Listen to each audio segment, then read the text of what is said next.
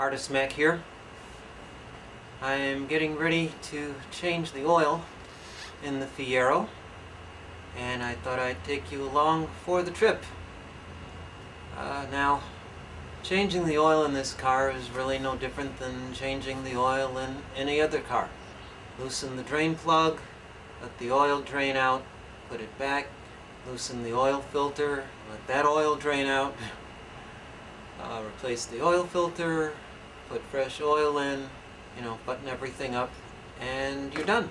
But, you know, so many people try to make every single procedure on a Fiero be much more difficult than it really is. So, I'm going to show you how easy it is uh, to change the oil in this car. Uh, I've been doing it, well, for the last 30 years. First time I did it was after three weeks and a thousand miles. Yeah, I drove that much uh, back when I first bought it. And I've been changing the oil myself ever since. It's a piece of cake. Alright, uh, let's get started.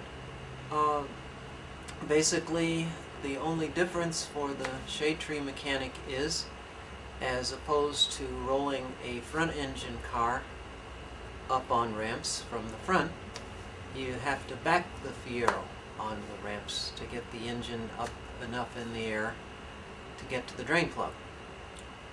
And I'll show you how that's done. Alright, we got the ramps positioned in front of the wheels. Now we gotta just back the car up them.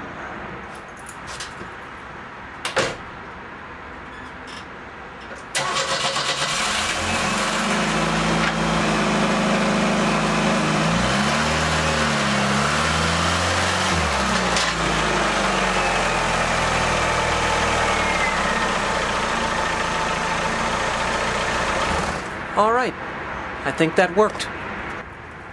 Now, as those of you familiar with Fieros may know, uh, they were able to do the Fiero so inexpensively, you know, making it a mid-engine car, is because the Fiero's engine and rear suspension were taken from a front-wheel drive economy car back at the time, the X car, and turned around and put in back.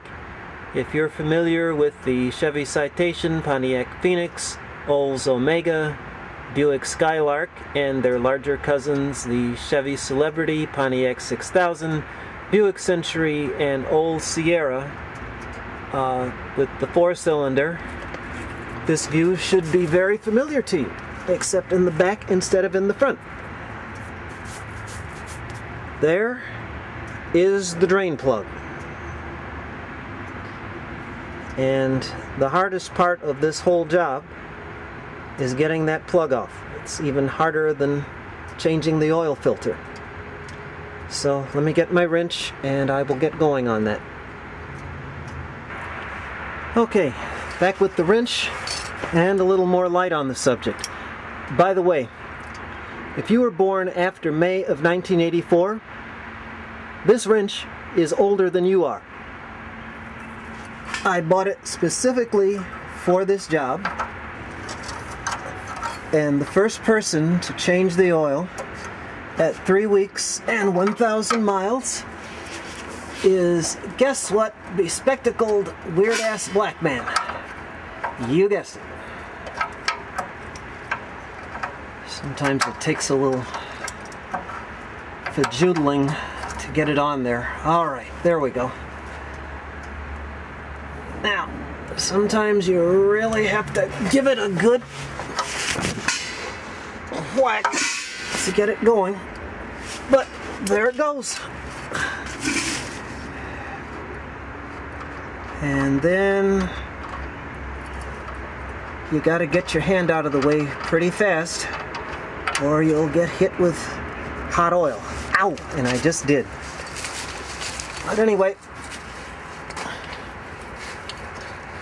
it's going in the bucket. I think you can see it there. And by the way, uh, for those of you who may be concerned, I am going to put this in a container and take it to a licensed, authorized used oil recycler. Got one just around the corner here. So this is not going back into our very fragile water supply. And normally I let it drain out for about 15 minutes just to make sure everything that's going to drain out does uh, before I loosen the oil filter. Boy, that's going to be a trip showing you that. Can you hear it gurgling? Alright, it's mostly drained out. So now, just got to clean up the drain plug a little bit. It's already got some oil on there for lubrication. And now we'll just get in there. Put it back on there.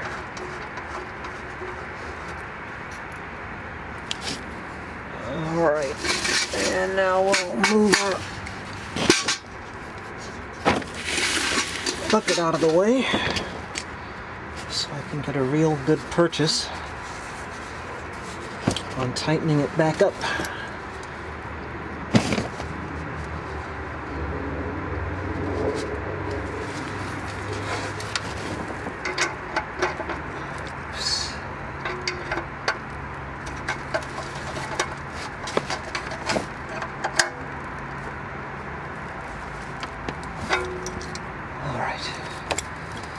I think that did it.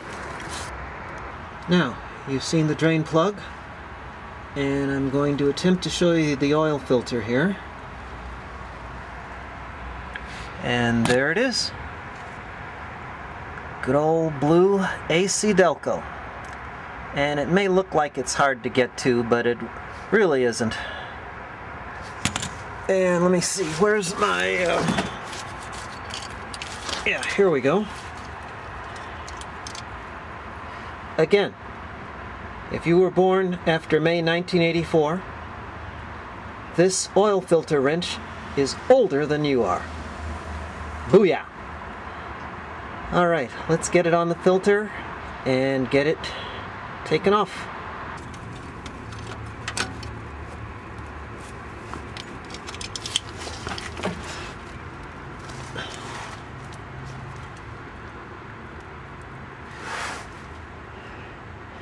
I'm gonna have to stop filming here for a second because I need to get the bucket under this filter. Because oil is gonna come raining down. Okay, oil filter's off. Gotta put the camera down so I can get situated here. Now here's something that I just got into the habit of doing. I write the date of the last oil change and the mileage on the bottom of the oil filter and I'm gonna do it with the new one that I put in. Yes, it's been a year and 12,000 miles since I changed the oil last. I'm a bad boy, Abbott.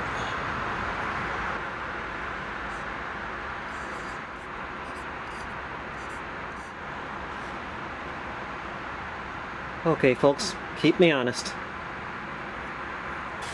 Of course, you always put a little bead of oil on the gasket before you put the filter back in.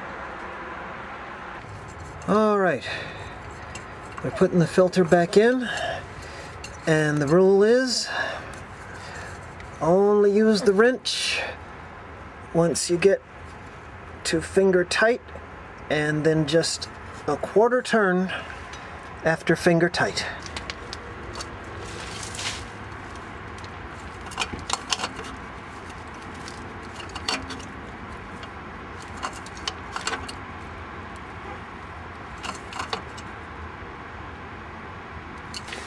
All right, now just got to fill it up with fresh oil. All right, now we just got to take the oil filler cap off and start filling it up.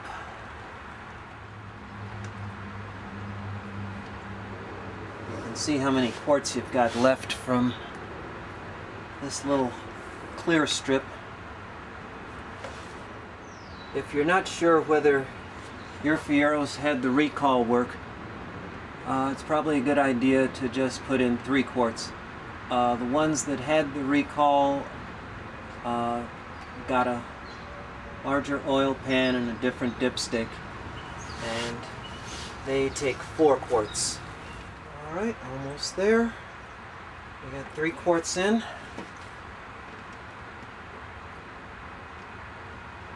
Going to put in three and a half.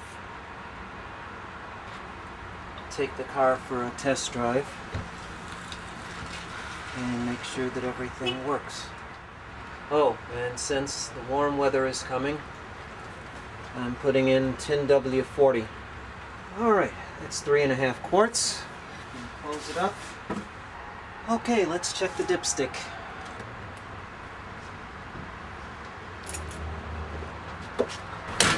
Alright, we'll take it for a test drive, see how it did.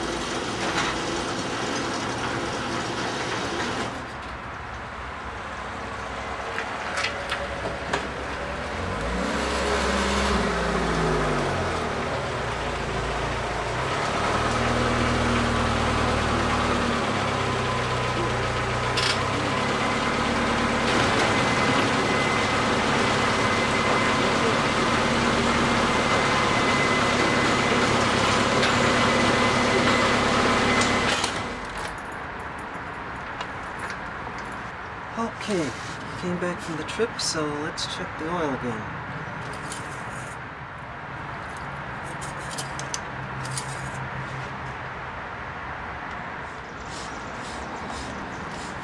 And this is where you add it very gently so you don't overfill it.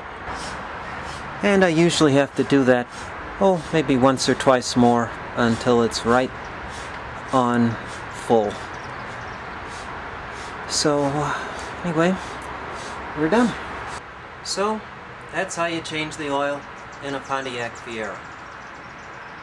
Not as hard as some Pontiac dealer mechanics back in the day who had access to all the equipment made it out to be. Boy, am I glad I found Dave Armstrong. I know I say it too much, but he is a god. A Pontiac dealer mechanic who actually likes working on Pontiacs. He's actually built a couple of them. Let's see, he's built a 69 Firebird 400, dark green with a black vinyl top. He's built an Indian red Firebird 69 Ram Air convertible, and he's working on a 69 Ventura right now. I mean, the guy bleeds Pontiac. And I tell you, if you have one of these, you really need somebody like that, or you need to at least get a few skills yourself. And if I can't do anything else, I can sure as hell change this oil. So, this is Artist Mac, signing off.